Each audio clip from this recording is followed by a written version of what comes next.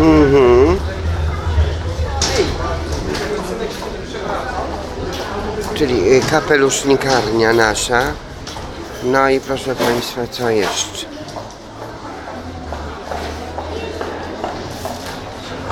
Boże, jakie tłumy tutaj w ogóle się zrobiły dzięki tym kolorytom. Ktoś chytrze tu ich ściąga, przez co? No już teraz ten Pałac Kultury Stalina i Lenina tu się nie wybija, ale może jakieś bazyliki. Mhm. Czyli Watykan. Może. No i Państwo zobaczą te nasze kapelusze i ta nasza miła pani wdowa.